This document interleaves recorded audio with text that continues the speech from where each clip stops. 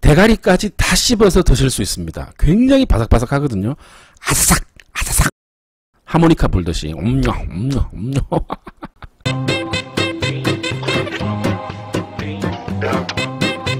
자 오늘 온 곳은 앞산입니다. 여기 앞산 순환도로 있는 데고 여기 대명초등학교 있는 곳이고요.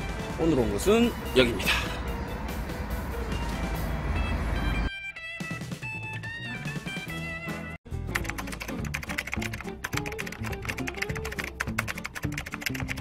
네, 안녕하세요. 신뽕입니다. 오늘 여러분께 소개할 곳은 제가 개인적으로 고등어구이 아주 좋아하는 집인데요. 먼저 반찬 한번 보시죠. 앞산 전망대 올라갔다가 땀을 비 오듯이 흘리고 나서 먹은 첫 끼였습니다.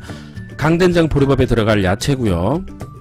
기본 반찬 구성 함께하고 계십니다. 그 다음에 산나물도 나오고 도토리묵도 나오고요. 자, 이게 고등어 한 마리 4,000원인데요. 아주 바삭바삭하게 맛있게 먹을 수 있는 고등어입니다. 크기도 그렇게 작지도 않고요. 맛있어요. 자 그리고 부추전입니다. 가격은 6,000원이고요. 아주 두텁게 맛있게 식감 좋은 그런 부추전이고요. 그 다음에 강된장 보리밥과 함께 먹는 강된장입니다. 자 야채를 듬뿍 넣어주시고 가장 중요한 포인트가 이제 된장을 싹 뿌려주시는 게 굉장히 중요합니다. 썰짝쿵 뿌려주시고 그 다음에 가장 중요한 고추장 짜자잔 뿌려주시고 야무지게 비벼주시면 되겠습니다. 아우 빨간색 양념은 정말 사랑이야 사랑. 자 이제 먹어봐야 되겠죠. 한 입 크게 들어갑니다. 여기 반찬들은 기본적으로 다 정갈하고 맛있어요. 먹을만 합니다. 그리고 이제 하루 종일 그 전날도 제가 저녁을 안 먹었기 때문에 굉장히 배가 고픈 상태였는데 특히 이 잡채 아주 맛있었어요. 여기가 11시 반부터 하는데 제가 11시에 도착을 했거든요. 그래서 30분 기다려서 음식을 먹었는데 첫 끼맨 먼저 나오는 음식이라서 그런지 몰라도 잡채가 뜨끈뜨끈하게 나오는데 아주 맛있더라고요. 자 고등어는 살 좀 조금 조금 먹는 것보다 큰 살을 들고 그냥 뜯어 먹는 게 제 맛이죠. 딱 굽힌 정도가 제가 좋아하는 스타일이에요. 바삭바삭하니 음 너무 좋아. 고등 한 입 뜯고 그 다음에 보리밥 한 숟갈 자 그리고 이 집 부추전이 대충 성의 없이 만든 부추전이 아니라 버섯도 올라가 있고 그 다음에 부추전 자체가 굉장히 두꺼워서 부추를 아끼지 않은 듯한 느낌이 드는 그런 부추전입니다. 그래서 식감도 좋고 그 다음에 보시기에도 예쁘죠? 아주 맛있게 먹었습니다.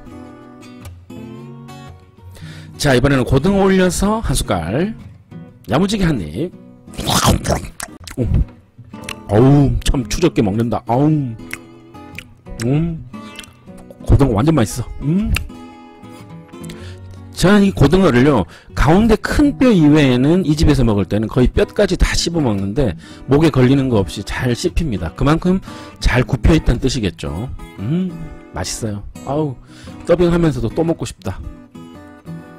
아우 잘 먹는다 잘 먹어. 자 이번에는 오늘의 하이라이트 고등어 대가리인데요. 대가리까지 다 씹어서 드실 수 있습니다. 굉장히 바삭바삭 하거든요. 아삭 아삭 요거는 이제 아가미거든요. 아가미까지 통째로 그냥 다 씹어서 드실 수가 있습니다. 음 손가락까지 쪽쪽 빨아주는 쇠수 다시 한 번 더 야무지게 한 숟가락 때려주시고요. 자 이제 반대쪽 머리 대가리 들어갑니다. 아우 저 눈알이 왜 저렇게 커 보이냐 저거 음.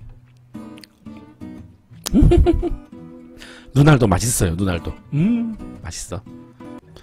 자 이제 부추전도 아낌없이 남김없이 모조리 다 먹어줘야 됩니다.